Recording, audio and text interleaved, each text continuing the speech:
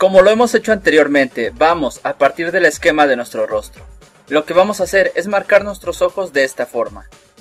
Recordemos, vamos a dejar un espacio en medio de ellos que correspondería a un tercer ojo. Esa será la separación que tendrá de la nariz.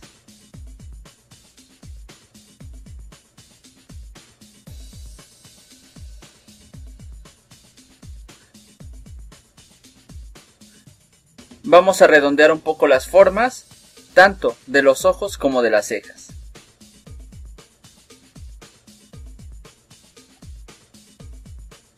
Y también vamos a marcar levemente lo que serán nuestros párpados. Aún no vamos a hacer suficiente énfasis en ellos, pero queremos que sean visibles, que estén presentes.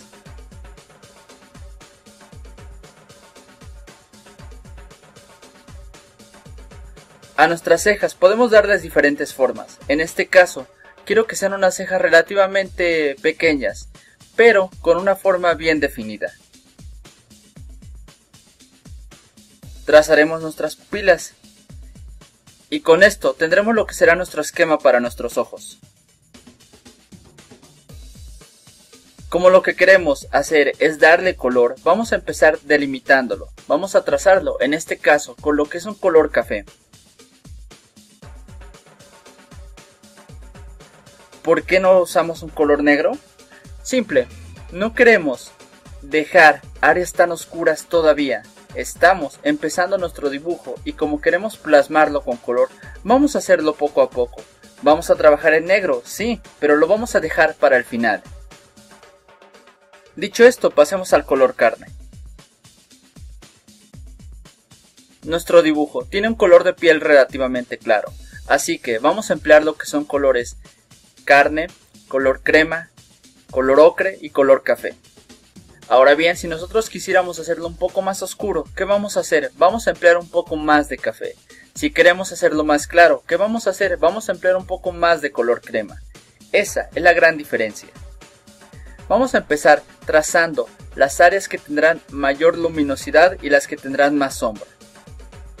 Es fácil determinar cuáles serán las áreas sombreadas y cuáles serán las áreas más oscuras.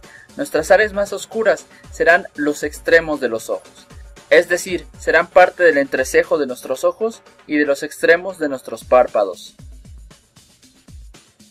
En cambio, nuestras áreas más iluminadas se encontrarán a la mitad del ojo, tanto de lo que es el párpado como de lo que es la retina como tal. Y claro, el espacio propio de nuestra nariz, que también al ser un área con más volumen recibe más luz y por ende tendrá un tono más claro.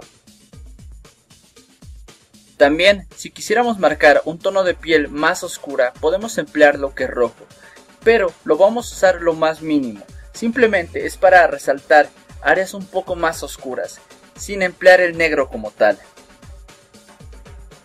Vamos a emplear sobre todo lo que es el color crema para unificar los diferentes tonos que hemos empleado. Es una forma de integrar nuestros colores. En cambio, lo que es el café lo vamos a usar sobre todo en las áreas más oscuras para marcar la mayor oscuridad que tengamos. También lo podemos usar para lo que son las cejas, para lo que son las pestañas, para lo que es nuestro párpado superior. Pero siempre recordando que lo estamos empleando en las partes más oscuras de nuestro dibujo. Podríamos también de la misma forma hacer a nuestros ojos color café, pero en este caso para generar un poco más de contraste vamos a hacerlos color verde. Ahora bien, va a pasar lo mismo que pasó con la piel. Que los vayamos a hacer color verde no significa que solamente vamos a usar un tono de verde. No, vamos a emplear una gama de verdes. Vamos a dejar lo que es un verde más claro para el punto más central del ojo. En cambio, para los extremos vamos a usar un verde un poco más oscuro que delimite para que en este momento no tengamos que usar un negro como tal, más adelante, si queremos generar más contraste, podemos delimitar a nuestro ojo con un color negro. También vamos a dejar lo que es un pequeño brillo en nuestros ojos.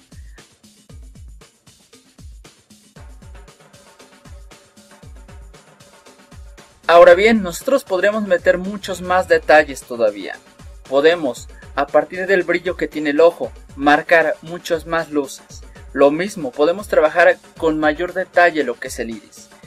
Pero ya que estamos llevando un cierto ritmo y habíamos visto con anterioridad un esquema muy básico, este podremos considerarlo un esquema intermedio. Todavía más adelante vamos a trabajar un esquema mucho más complejo, mucho más detallado. Pero es bueno llevar un cierto ritmo, un cierto proceso.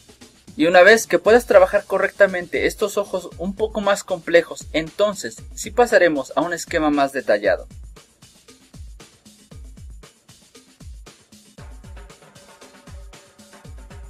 Como habíamos dicho, vamos a dejar el negro solo para el final. Cuando trabajemos lo que es el color, en este caso, vamos a dejar el negro siempre al final,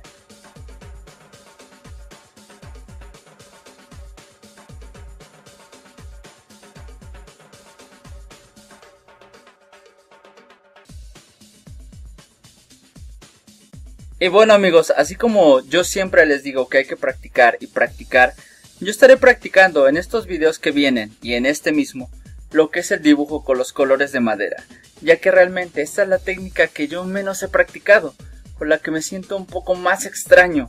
Así que bueno, a seguir los mismos consejos que les doy.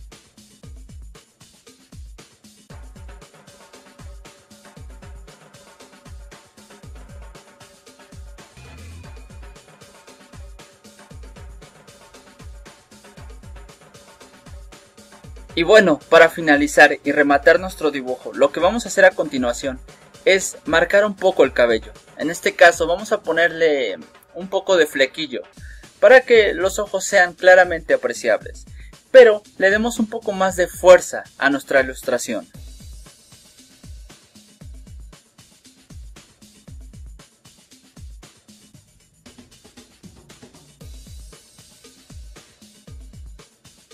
Claro, esto es opcional y si quieren también pueden completar el rostro. Pero para este dibujo simplemente quiero darle más fuerza, más personalidad a nuestros ojos.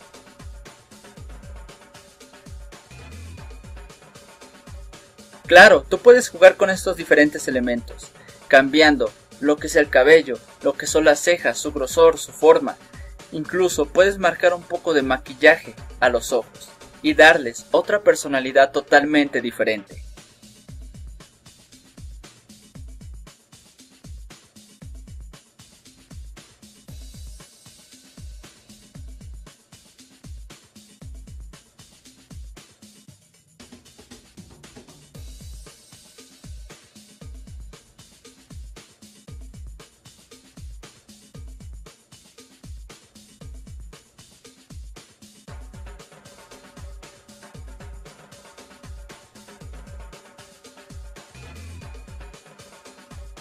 Y bueno amigos, eso es todo, pero nos estamos viendo en un próximo video, ya que ya se vienen lo que son videos de correcciones de dibujos y sí, a petición de todo mundo, un nuevo capítulo de 6 tipos de malos dibujantes.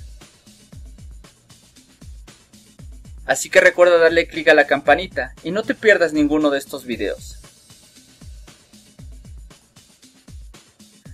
Si el video te ha gustado, puedes ayudarme con un like, suscríbete al canal y sígueme en mis redes sociales. Los links están en la descripción.